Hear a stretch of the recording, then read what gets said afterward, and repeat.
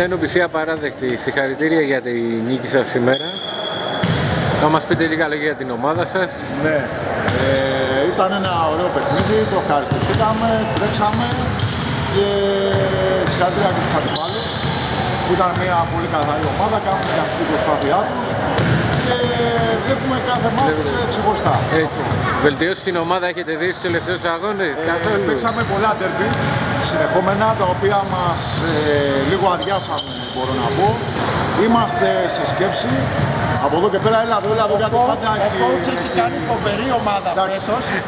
έχει Χαίρομαι. καθιερώσει το θέμα με τους δύο αντιπάλους τέτοιο, έτσι. Ναι, γιατί να σου πω κάτι, αυτό είναι το σωστό. Τίποτα. Έχουν κάνει φοβερή ομάδα, συγχαρητήρια. Χαίρομαι που θα παίξω αντίπαλο στους. Παίζουμε την άλλη εβδομάδα, οπότε τους περιμένουμε να το... Εννοείται. Να το δω. Θα τους πατήσω, θα τους πατήσω κάπου. Καλή επιτυχία.